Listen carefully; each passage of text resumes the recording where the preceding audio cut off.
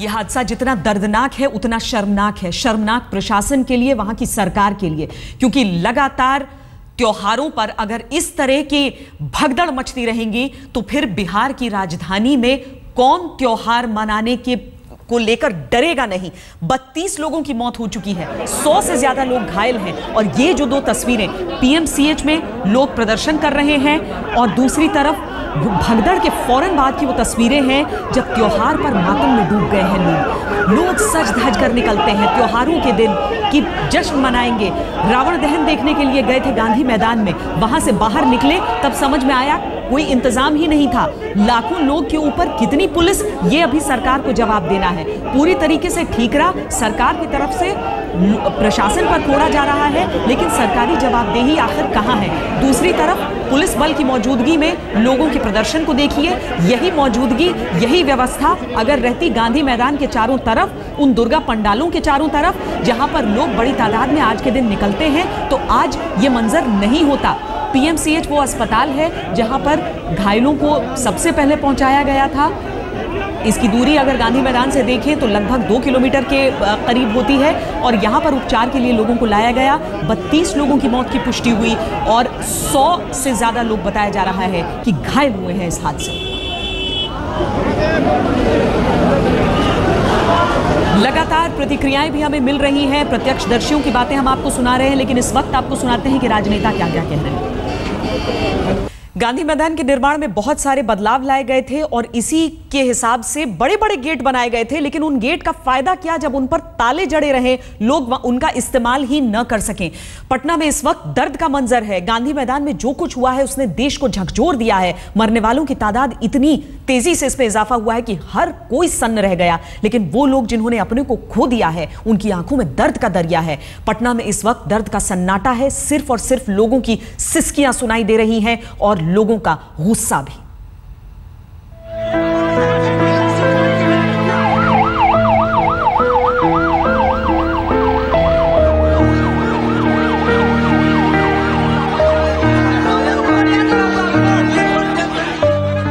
इस दर्द की इंतहा नहीं है।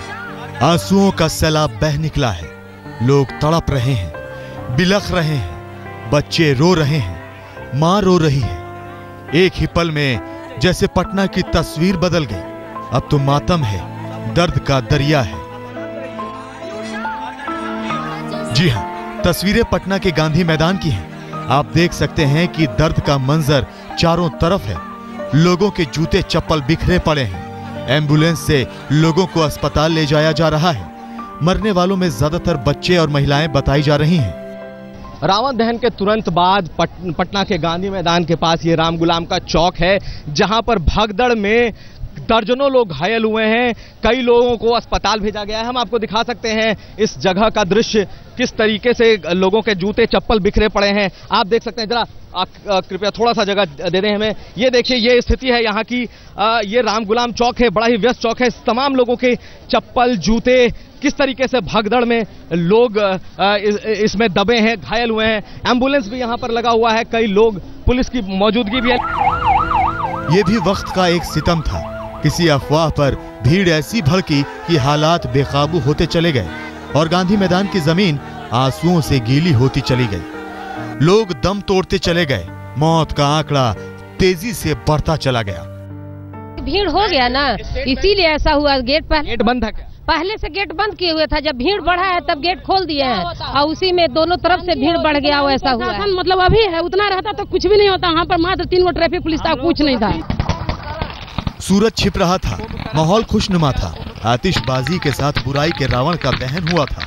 सिर्फ़ पटना से ही नहीं, बल्कि आसपास के गाँवों से भी लोग रावण दहन देखने आए थे। लेकिन किसी को क्या पता था कि गांधी मैदान में जिस आतिशबाजी के साथ हर्षोल्लास का दशहरा मनाया जा रहा था, वो अब मातम में तब्दील होने वाला है। फिर तो ऐसी भगदड़ मची कि रंजो गम का माहौल पसर गया। किसी का अपना हमेशा हमेशा के लिए चला गया। तो कई बच्चे भी परिवार से बिछड़ गए। जो भी मरा है सब प्रशासन के चलते मरते ना ही लोग लाठी चार्ज करता न करंट का अफवाह उड़ाता गेट बंद कर दिया उसके चलते सब हुआ। उसके चलते सारी मौतें हुई मेरे नज़र के सामने मरा है सब मेरे नज़र के मरा। पटना की इस घटना ने देश को स्तब्ध कर दिया है। सोचकर ही रोंगटे खड़े हो रहे हैं। उन परिवारों की आँखों से आँसू रुकने का नाम ही नहीं ले रहे हैं। जिनके अपने अब इस दुनिया में नहीं रहे। सुजीत कुमार झा के साथ कुमार अभिषेक, पटना, आज तक। एक महिला ने तो यहाँ तक आरोप लगाया है कि वहाँ पर लाठीचार्ज भी किया गया ताकि लोगों पर काबू पाया जा सके। भगदड़ से बचने के लिए लाठीचार्ज। ऐसा नहीं है कि इस प्रदेश के लिए नया है, ऐसा नहीं है कि इस शहर के लिए नया है। भगदड़ यहाँ पर पहले भी मची है। क्यों नहीं इंतज़ाम होते हैं? क्यों यह हादसा हुआ है? ये सवाल सारे लोग जानना चाहते हैं। गांधी मैदान का इलाका अगर वो रावण दहन की तस्वीर आपने स्पष्ट तौर पर देखी हो तो ऐसा नहीं है कि वहाँ पर तिल रखने को जगह नहीं है। वहाँ पर उसके पूरा इलाका आप खाली देख सकते हैं। हाँ लाखों की तादाद में लोग थे, लेकिन गांधी मैदान में इससे बड़ी संख्या में लोग एक वक्त पर रह सकते हैं। दशहरे का जश्न चल रहा था बिहार में। इस सब के बीच जो पटना शहर है, वो दर्द में डूब गया। बिहार सरकार की तरफ़ से अभी तक कोई औपचारिक प्रतिक्रिया नहीं आई है। अभी तक जेडीयू के जिस भी नेता ने कहा है, उन्होंने सिर्फ़ उस अफवाह का ज़िक्र किया है, यानी कि उस अफवाह के पीछे खुद को छिपाने की कोशिश की है। अब अफवाह वजह वाकई थी भी या नहीं थी, ये तो उनकी उच्च स्तरीय जाँच में पता चलेगा। लेकिन प्रशासन पर ठीकरा फोड़ने से पहले सरकार को भी अपनी ज़िम्मेदारी तय करनी होगी। बिहार सरकार के मंत्री कहाँ हैं? नीतीश कुमार गरीबों के नेता हैं। उन्होंने नियुक्त किया है अपने हाथों से जीतन राम मांझी को। वहाँ पर मुख्यमंत्री बनाया है, लेकिन खुद नीतीश कुमार कहाँ है? प्रदेश की जनता ने उन पर भरोसा करके, उन पर विश्वास करके उन्हें विजय दिलाई थी।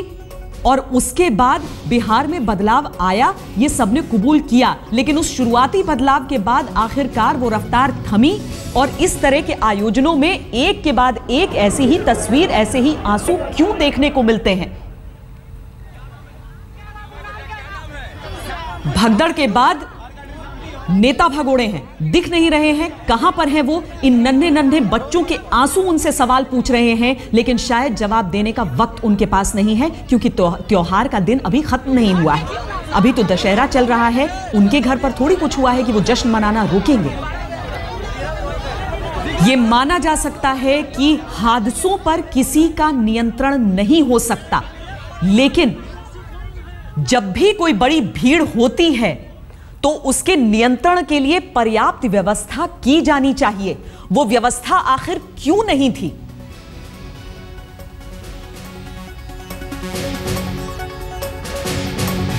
हम आपको बता दें कि लगातार आज तक पर हम अलग अलग नेताओं से बातचीत कर रहे हैं। आपने एक बात पर गौर किया होगा कि बीजेपी नेताओं से हमारा संपर्क हो रहा है। हम कांग्रेस नेताओं की प्रतिक्रिया भी आपको दिखा रहे हैं।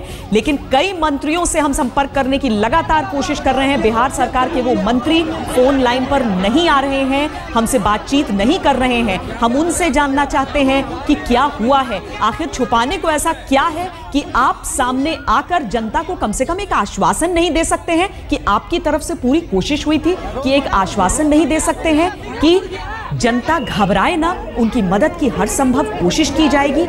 अगर सरकार की तरफ़ से प्रयास और आश्वासन की बात ही नहीं होगी तो आखिर जनता को सुकून कैसे मिलेगा? यह हादसा क्यों हुआ है? पटना पुलिस पुरानी गलतियों से कोई सबक क्यों नहीं ले सकी? सरकार कोई सबक क्यों नहीं ले सकी? हज़ारों की भीड़ को क्यों एक ही गेट से बाहर निकलने के लिए मजबूर किया गया? आखिर कैसे एक अफवाह की वजह से इतना बड़ा हादसा हो गया?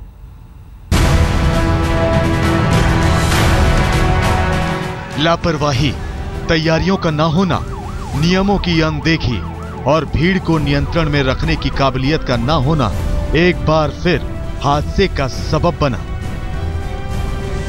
पटना में रावण दहन के बाद वापस लौटते हज़ारों लोगों की भीड़ एक बार फिर इन्हीं लापरवाही की भेंट चढ़ गई। इधर रावण के पुतले की आग ठंडी पड़ी, वहीं दूसरी तरफ़ हज़ारों की संख्या में भीड़ गांधी मैदान से बाहर निकलने की कोशिश करने लगी। इस भीड़ में बच्चे और बड़ी संख्या में महिलाएँ शामिल थी। चश्मदीदों का आरोप है कि पहले गांधी मैदान से निकलने के लिए सिर्फ़ एक गेट खोला गया था, लेकिन अचानक भीड़ बढ़ी तो ज़्यादा गेट खोले गए। भीड़ हो गया ना इसीलिए ऐसा हुआ गेट पहले गेट बंद था क्या? पहले से गेट बंद किए हुए था जब भीड़ बढ़ा है तब गेट खोल दिए हैं। और उसी में दोनों तरफ़ से भीड़ बढ़ गया वैसा हुआ। है मतलब अभी है उतना रहता तो कुछ भी नहीं होता। वहाँ पर मात्र तीन गो ट्रैफ़िक पुलिस था कुछ नहीं था। समझ गए ना? बस और एक भी नहीं था वहाँ पर। चश्मदीदों का आरोप है कि भीड़ को नियंत्रित करने के लिए कोई इंतज़ाम नहीं थे। सरकारी महकमा नदारत था। सड़क पर रोशनी के भी इंतज़ाम नहीं थे। ऊपर से बिजली के तार के गिरने की खबर ने चिंगारी का काम किया। सवाल उठता है कि आखिर प्रशासन को क्यों नहीं भीड़ का अंदाज़ा था? प्रशासन ने क्यों नहीं भीड़ को पुलिस के नियंत्रण में पंक्तियों में बाहर निकाला? आखिर ज़िले के बड़े अधिकारी उस वक्त कहाँ थे? अभी पिछले साल छठ के वक्त में भी ऐसा ही हादसा हुआ था। क्या वजह है कि साल के अंदर यही शहर एक और भगदड़ की त्रासदी सहने पर मजबूर हो गया। ज़ाहिर है, राज्य सरकार और उनके अफसरों को इन सवालों के जवाब देने होंगे। कुमार अभिषेक, पटना आज तक।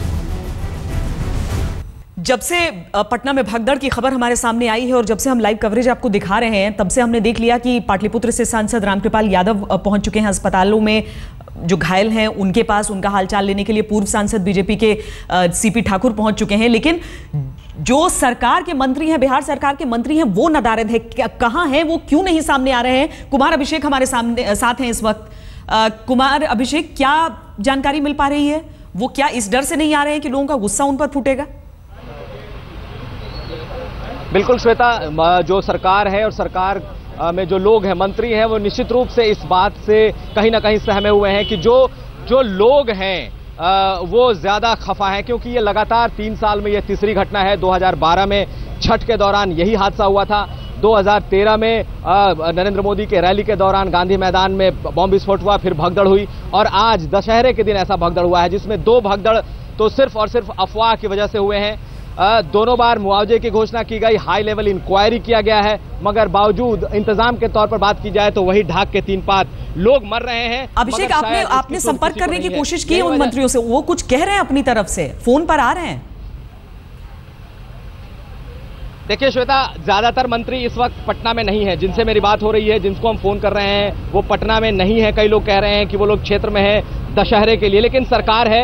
आ, सरकार के तरफ़ से सिर्फ़ एक इंक्वायरी की बात आई है हाई लेवल इंक्वायरी की और मुआवजे की। इसके अलावा अब तक कुछ नहीं आया है।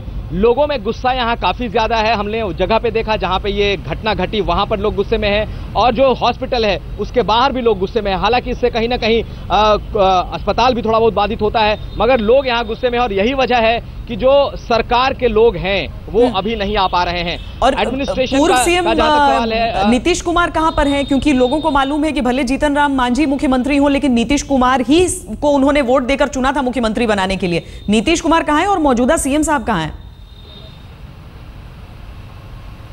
श्वेता यही सबसे बड़ा सवाल है। नीतीश कुमार निश्चित रूप से पटना में ही हैं अपने घर में होंगे।